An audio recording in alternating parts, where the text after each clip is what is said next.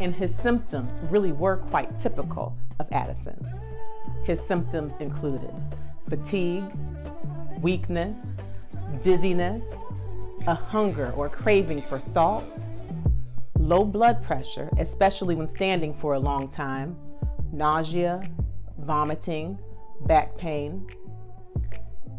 Now, as far as that low blood pressure when standing for a long time, you can imagine when someone is on a campaign trail, which does require a lot of standing, being in the hot sun, shaking hands, being up and ready.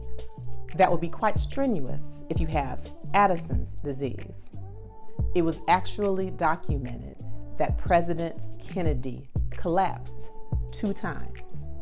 He collapsed once during the election campaign at the end of a parade, and he collapsed a second time during a congressional visit to Britain. So he really did have some of the typical symptoms of Addison's disease. Some other symptoms of Addison's disease include muscle weakness, weight loss, and in women, they can have a decreased sex drive, and also discoloration. You can get a darkening of the hands, the face, and in the back of the neck. So these are the general symptoms of Addison's disease.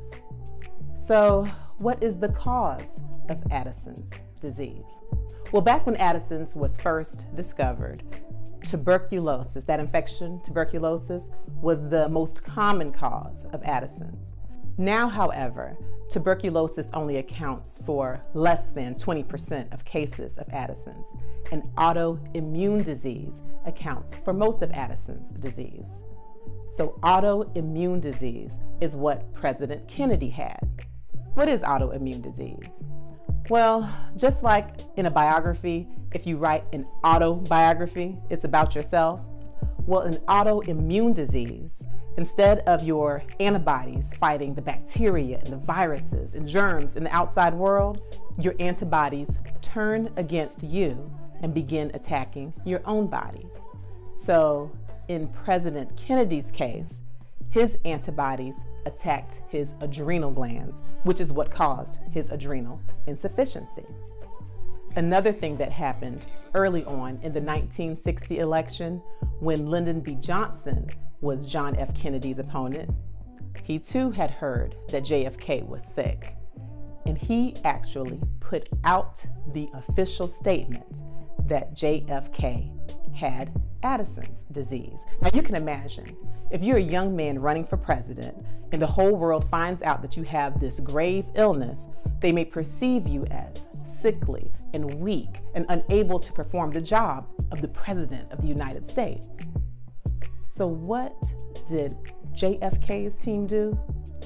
Well, the Kennedy campaign actually got Kennedy's physicians to put together a very clever statement. They put out a statement that stated John F. Kennedy does not have Addison's disease caused by tuberculosis. Well, this statement was not exactly a lie because JFK did not have Addison's disease caused by tuberculosis. He had Addison's disease caused by autoimmune disease. So, again, even back then, they were spinning things in politics. But guess what? It worked. The entire story was dropped at that time, and the rest is history.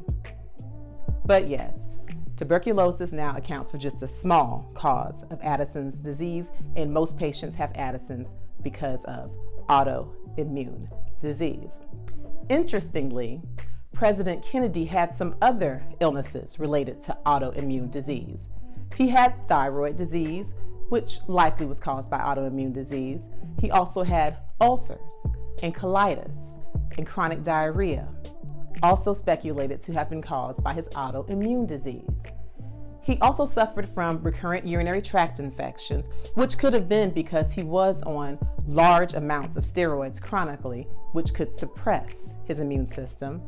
And he had chronic back pain. Now, that could be from autoimmune disease, or the chronic use of steroids could have caused him to develop weak bones or osteoporosis.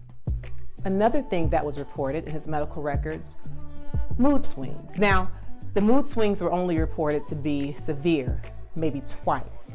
And for a very, very, very short course, he took an antipsychotic. But again, his records show that that was just something that happened no more than twice. But patients who are on long term steroids can sometimes develop mood swings or roid rage, even. An important note to anyone who's taking steroids, not just if you have Addison's disease. If you're taking long term steroids, it's important that you don't just stop the steroids cold turkey. You can't just stop taking steroids all of a sudden. You have to taper them down under the direction of your doctor. Why? Because if you're on these steroids long term, then your adrenal glands, even if you don't have Addison's, will start to work, at least temporarily, a little less. So if you just stop taking your steroids cold turkey, well, then you can go into an adrenal crisis where you can get all of those symptoms of Addison's disease, and it can even be fatal. So, for all patients taking chronic steroids, don't stop those things unless you have the direction of your physician. They have to be tapered. So, what is the treatment for Addison's disease? Well, if your adrenal glands are not making the hormones that they're supposed to make, the treatment is to replace those hormones, or at least with something that acts like the hormones. So, in the case of Addison's, the treatment is to give steroids. So, JFK's medical records reveal that he was taking hydrocortisone, which is a steroid. He was taking prednisone, also a steroid. He took fludrocortisone, and he also took testosterone to help to cut back on muscle weakness or weight loss or atrophy. He took vitamin C as well, and because he had thyroid disease, he also took thyroid replacement hormone. In addition, for part of President Kennedy's treatment, he had to take pain medicine. He had chronic, excruciating back pain. And so he would get lidocaine and procaine injections in his back. He also had recurrent urinary tract infections, and so he took antibiotics quite often as well. Another thing he had allergies. So that man was on allergy medicine. It's just really something to think about that statement he once made that he was the healthiest candidate for president in the country. Amazing. So, how do you get diagnosed with Addison's disease? Well, the initial test is an AM or a morning cortisol level. If this level is low, there are then follow up tests to find out the source of your adrenal insufficiency. One interesting thing about autoimmune disease, which is, of course, why JFK had his Addison's disease, when autoimmune disease occurs in a person, it often runs in the family. We have later learned that JFK's sister, Eunice, had Addison's disease, and his son, the late JFK Jr., had Graves' disease. So there you have it. That sums up my general overview of President JFK's secret sickness. I find it really interesting. Now, normally I like to talk about pop culture and celebrity news in the way that those things intersect with health. But I'm also very, very intrigued by politics and history and how they intersect with medicine. Basically, I'm just nosy and my nosiness transcends all time periods, all genres. It knows no limits and no bounds. So if there's any other health topic you'd like me to discuss, please, please, please comment down below. Subscribe to my page. Share it with others. Remember, prioritize yourself. If you have a sickness, don't keep it a secret from yourself. Go see your doctor. Strive to be a healthier, happier you. I'm Dr. Frita.